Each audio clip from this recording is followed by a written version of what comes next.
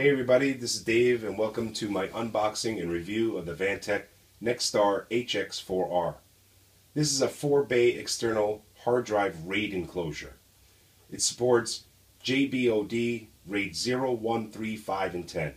It can handle up to 12 terabytes of storage and I'll be using my four 3 terabyte Western Digital RED drives. Before we start, let me explain a little bit about RAID. RAID is defined as redundant array of independent disks, or redundant array of inexpensive disks, depending on who you ask. Here are some common terms used with RAID. Redundancy or parity is basically a backup copy. Mirror is copy of contents from one drive to another. Striping is a copy of contents spread out over multiple drives. This enclosure could be set at JBOD, which stands for just a bunch of drives. So when you put these four drives into the enclosure, you'll get four separate volumes show up on your computer.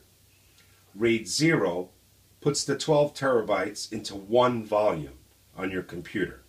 It's high performance, highly cost efficient, but if one of the drives fails, you lose everything.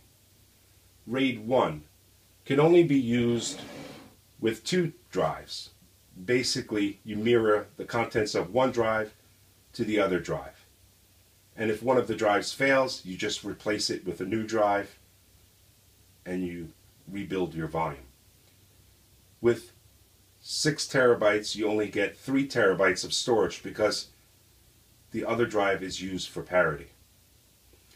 Average performance, high redundancy, but not cost efficient. RAID 3 is not worth mentioning because it's hardly ever used. RAID 5, in which I'll be using with this enclosure, stripes all of the data across all of the drives. So if one of the drives fails, you just replace it and it will rebuild it. You get average performance, high redundancy, and is very highly cost efficient you get 9 terabytes out of the 12 terabytes you have. Lastly, there's RAID 10, which is a combination of RAID 1 and RAID 0. So basically, you mirror contents from one drive to another, and then it's striped over to the other remaining drives. Very high performance, very high redundancy, but it's not cost efficient because you only get 6 terabytes out of the 12 terabytes you have. So let's put these drives aside and let's take a look around the box and in the box and I'll explain a little bit more on why I bought this hard drive enclosure over a NAS, a traditional NAS. Because I have a Pogoplug and I'm going to connect the Pogoplug to this Nexstar and we're going to turn it into a network attached storage. So make sure you subscribe and let's continue on with our video. Here's the front of the box. This is the left side of the box. And the right side of the box. And the rear of the box in multiple languages. Okay, let's open up the tab. And we'll lift this right up. First thing we see is a CD, which has some software for drivers and utilities. And we also have a guide about your storage and an installation guide that opens up. At the top here, we have some foam. We have a power cord. We have a power brick comes with the USB 3.0 connection. You can see that there. And it also comes with the eSATA cables that you can hook to a card.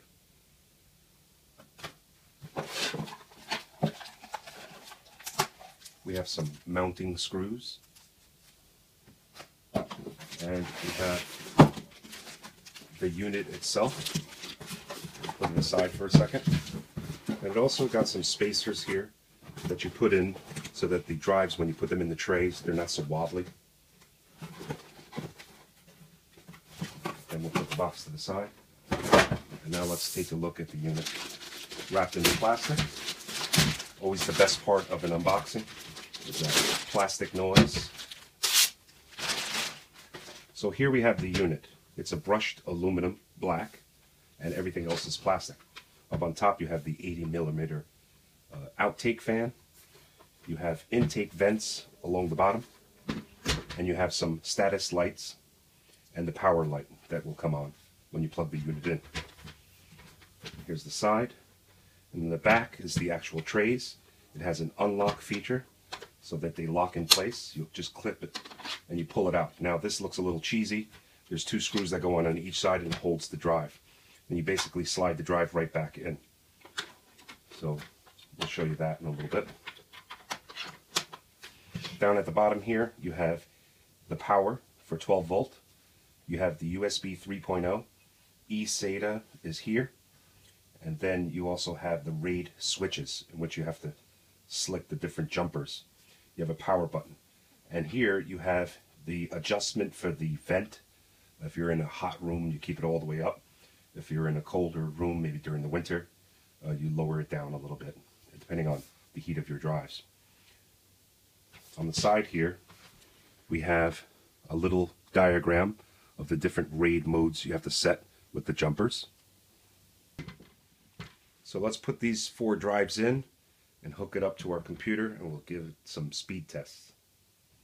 The instruction says to pull out the tray and use this little foam piece with the sticky on one side and place it right onto the inside of the little tray little foam there.